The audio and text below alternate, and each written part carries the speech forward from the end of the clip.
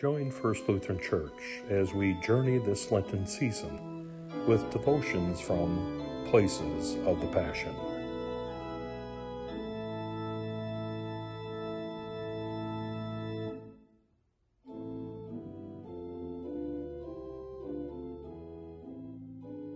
Good afternoon.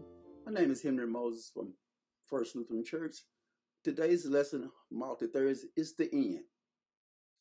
So we often in this faithful and wise servant whom his master has set over his household to give them food at the proper time.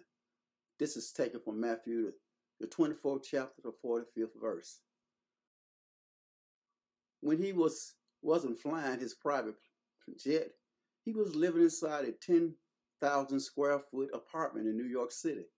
He has homes in France, on Long Island, and in Palm Beach, Florida.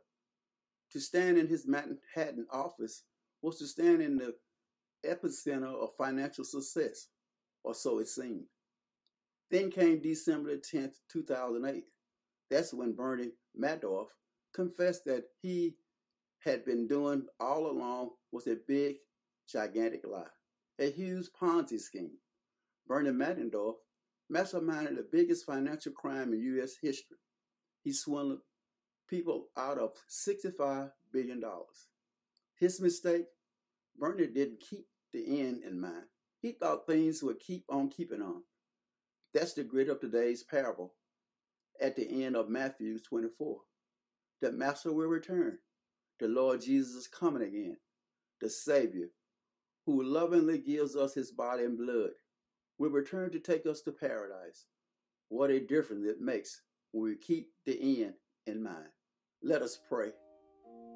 Jesus, help me to be faithful until the end. Amen.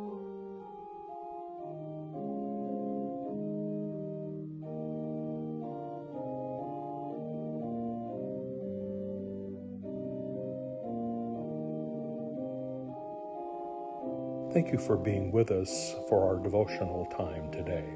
Join us for worship in person or virtually online at First Lutheran Church, where God is always open.